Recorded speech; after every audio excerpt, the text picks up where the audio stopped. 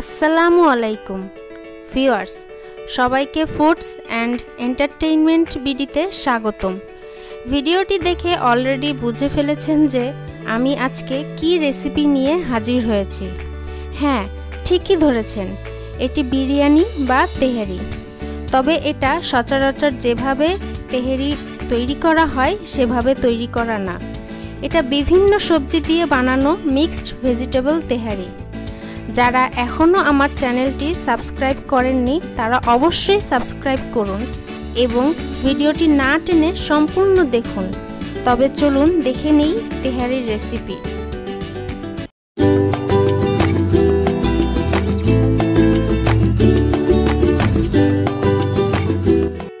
Mixed vegetable তেহারি তৈরিতে যে উপকরণগুলো লাগছে, সেগুলো হলো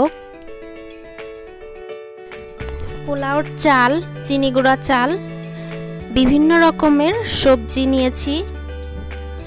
সেদ্ধ করা গরুর মাংস নিয়েছি। নিয়েছি পেঁয়াজ, কুচি করা, ফালি করা কাঁচামরিচ, রসুনের কোয়া নিয়েছি কয়েকটা। তারপর আদা বাট, আদা, রসুন বাটা। গরম মশলা, তেজপাতা, এলাচ, দারচিনি। শুকনা মরিচের গুঁড়া। এখানে নিয়েছি ধনিয়ার গুঁড়া, গরম মশলার গুঁড়া, মাংসের মশলা আর তেলে রাখা ভাজা জিরার গুঁড়া। নিয়েছি সয়াবিন তেল। পরিমাণ মতো লবণ। আমি আগেই চুলায় কড়াই বসিয়ে দিয়েছিলাম, তার উপরে আমি পেঁয়াজ গরম মশলা, তেজপাতা দিয়ে ভেজে নিয়েছি। এখন আমি মশলাগুলো দিয়ে দিচ্ছি। প্রথমে আমি আদা, রসুন বাটা দিয়ে দিয়েছি। এখন এই মশলাটা আমি নেড়ে নিচ্ছি। এরপর আমি এর ভিতরে রসুনের কোয়াগুলো দিয়ে দিলাম। আসলে রসুনের কোয়াটা দিয়েছি এই কারণে যে মুখে খাওয়ার সময় মুখে আস্ত রসুন পড়লে একটু খেতে ভালো লাগবে সেই কারণে। এরপর আমি দিয়ে দিব শুকনো মরিচের গুঁড়া। তারপর আমি দিচ্ছি বিভিন্ন রকম মশলা, তেলে রাখা ভাজা জিরার গুঁড়া, গরম মশলার গুঁড়া, মাংসের মশলা এখন আমি লবণ দিয়ে দিয়েছি।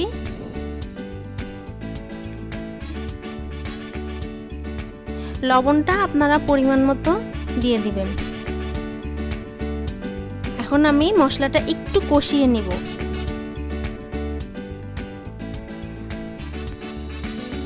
আমি এখন মশলাটা কষিয়ে নিচ্ছি। এই মশলার ভিতরে এখন আমি আরেকটু গরুর মাংসের মশলা দিয়ে একটু কষিয়ে নিচ্ছি। এই যে আমার মশলাটা দেখেছেন? একটু কষানো হয়ে গিয়েছে। এখন আমি এই কষানো মশলার ভিতরে সিদ্ধ করা গরুর মাংসগুলা দিয়ে দিচ্ছি। এই গরুর মাংসটা আমি আগেই সিদ্ধ করে নিয়েছি।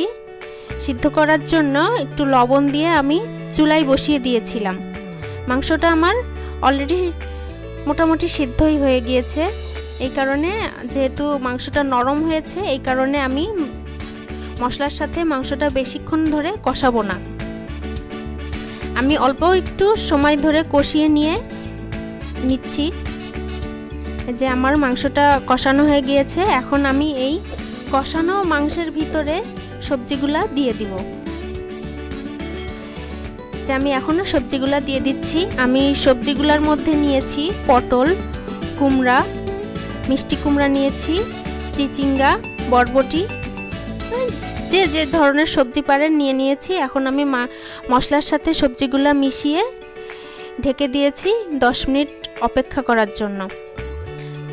দশ মিনিট পর আমি ঢাকনাটা খুলে দিয়ে যে আরেকটু নেড়ে নিব, এই যে সবজি থেকে পানি বের হয়ে গিয়েছে।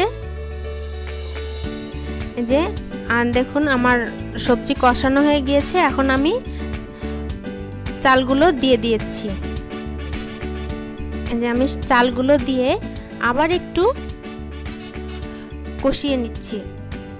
মাংস, সবজি আর চাল একসাথে কষিয়ে নিচ্ছি। যে আমি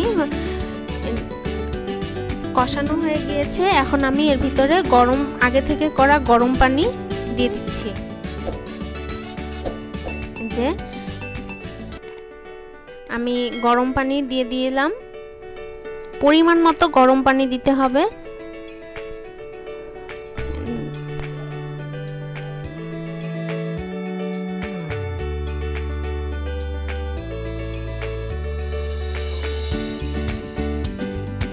আমি গরম পানি দিয়েছি। এখন আমি যে গরুর মাংস সেদ্ধ করেছিলাম, যে বেঁচে যাওয়া পানিটা ছিল, সেই পানিটাও আমি এর ভিতরে অ্যাড করে দিচ্ছি। এই যে।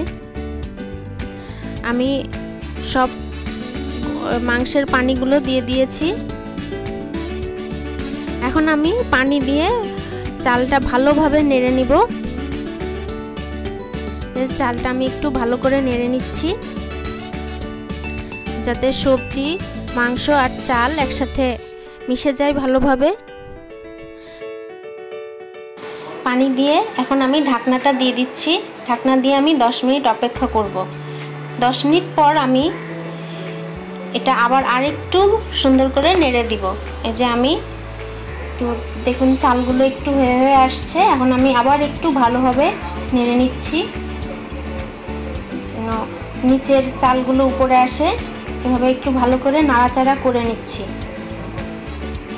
এই যে আমি নাড়াচাড়া করে একটু সুন্দরভাবে নেড়ে রাখছি। এখন আমি উপর থেকে একটু সরিষার তেল ছিটিয়ে দিয়েছি।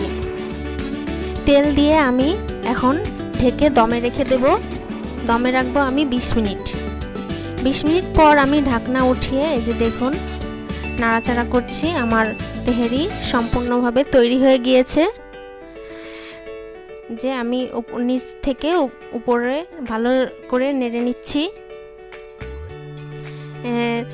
আমার তেহেরি এখন পুরোপুরি তৈরি হয়ে গিয়েছে। এখন আপনারা যে যেমন পছন্দ মতো পরিবেশন করতে পারবেন। যে আমি একটি প্লেটে বেড়ে নিচ্ছি। আমি যে প্লেটে পরিবেশন করব, সেই প্লেটে আমি তেহেরি বেড়ে পরিবেশন করব।